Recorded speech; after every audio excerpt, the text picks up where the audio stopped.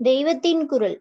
அம்மை அப்பன். உலக குடும்பத்தின் அம்மாவும் அப்பாவும். இந்த உலகம் முழுவதையும் நடத்துகிறவர் சுவாமி. இதில் மனிதர்கள் இருக்கிறோம் மிருகங்கள் இருக்கின்றன பட்சிகள் இருக்கின்றன புழு பூச்சிகள் இருக்கின்றன. மரம் செடி கொடி புல் பூண்டு எல்லாம் கொண்ட ஒரு பெரிய குடும்பமே உலகம். அந்த குடும்பத்தை நடத்துகிறவர் சுவாமி. நம்முடைய சிறிய குடும்பம் ஒவ்வொன்றையும் அம்மா அப்பா என்ற இரண்டு பெயர் நடத்துகிறார்கள். குடும்பம் நடப்பதற்கு சாமான்கள் வேண்டியிருக்கின்றன. அவற்றை வாங்குவதற்கு பணம் வேண்டியிருக்கிறது. அப்பா என்கிறவர் உத்தியோகம் செய்து சம்பளமாக பணம் வாங்கி கொண்டு வருகிறார். அந்த பணத்தை கொண்டு சாமான்கள் வாங்கி போடுகிறார்.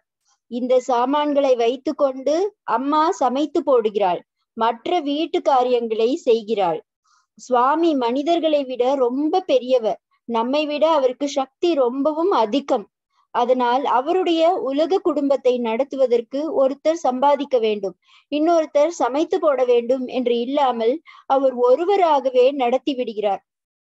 நம் அப்பா அம்மா மாதிரி சுவாமி சரக்குகள் வாங்க வெளியே போக வேண்டாம். எல்லா சரக்குக்கும் மூலம் அவரேதான். குணங்களும் சரக்குகள் மாதிரிதான். இந்த குணங்கள் எல்லாவற்றுக்கும் கூட சுவாமியேதான் மூலம். அவர் குணக்கடல் எல்லா குணங்களும் அவரிடமிருந்துதான் வந்தன. அப்பாவும் அம்மாவும் நமக்கு தருகிற சாமான்களுக்கெல்லாம் மூலம் சுவாமியிடமே இருக்கிற மாதிரி அவர்கள் இருவரும் நம்மிடம் காட்டுகிற அன்புக்கும் மூலம் சுவாமியிடம்தான் இருக்கிறது. நமக்கு எப்போதும் நல்லதையே நினைத்து கொண்டு நம்முடைய சந்தோஷத்துக்காக எத்தனை கஷ்டத்தையும் தாங்கிக் கொள்கிற அன்பு நம் அம்மாவுக்கும் அப்பாவுக்கும் இருக்கிறதல்லவா?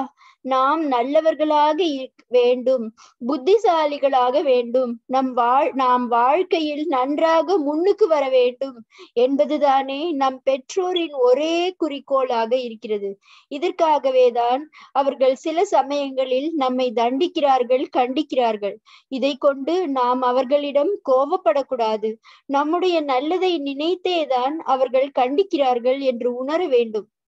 அவர்கள் கோபித்து கொண்டாலும் அதற்கு கூட காரணம் நம்மிடம் அவர்களுக்குள்ள அன்புதான். இந்த அன்பினால் தான் அவர்கள் நம்மை வளர்த்து படிக்க வைத்து நமக்கு உடம்புக்கு வந்தால் இரவெல்லாம் கண் விழித்து கவனித்து எல்லா காரியங்களும் செய்கிறார்கள். இப்பேற்பட்ட அன்பு அவர்களுக்கு எங்கிருந்து வந்தது என்று பார்த்தால் இந்த அன்பு என்ற சரக்குக்கும் மூலம் சுவாமிதான். சுவாமியேதான் அப்பா அம்மா என்கிற உருவங்களில் வந்து நம்மிடம் அன்பை செலுத்துகிறார் உலக குடும்பத்தின் அம்மாவும் அப்பாவும் அன்னையும் பிதாவும் முன்னறி தெய்வம். நம் அப்பாவையும் அம்மாவையும் சுவாமியாக நினைக்க வேண்டும். இதையே மாற்றி சுவாமியையும் அப்பா அம்மா என்ற உருவங்களில் நினைக்க வேண்டும். கொன்றை வேந்தன் என்ற நீதி நூலில் அவ்வை பாட்டி முதலில் அன்னையும் பிதாவும் முன்னறி தெய்வம் என்கிறாள். இது தாய் தந்தையரை தெய்வமாக நினைப்பது. இதை அடுத்தே ஆலயம் தொழுவது சாலவும் நன்று என்கிறாள். ஆலயம் தொழுவது என்றால் ஆலயத்தில் உள்ள தெய்வத்தை தொழுவதே ஆகும். அப்படி தொழும்போது அத்தெய்வத்தையே தாய் தந்தையர் என அன்புடன் எண்ண வேண்டும். சுவாமி எல்லா இடங்களிலும் இருக்கிறார் என்றால் அவருக்கு நம்மை போல உருவம் இருக்க முடியாது. ஆனால் உருவம் இல்லாத ஒருவரை எப்படி நினைப்பது? அதனால் அவரை அப்பா அம்மா என்ற இரு உருவங்களில் நினைக்க வேண்டும். நமக்கு தெரிந்தவர்களில் நம்மிடம் ரொம்ப அன்பாக இருப்பது தாய் தந்தையர் தானே. அன்பாக இருப்பவர்களை நினைத்து கொண்டால்தான் நமக்கும் சந்தோஷமாக இருக்கிறது.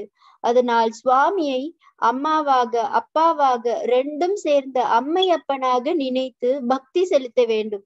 பார்வதி என்ற அம்மாவாகவும் பரமசிவன் என்ற அப்பாவாகவும் அவர் ஆகியிருக்கிறார்.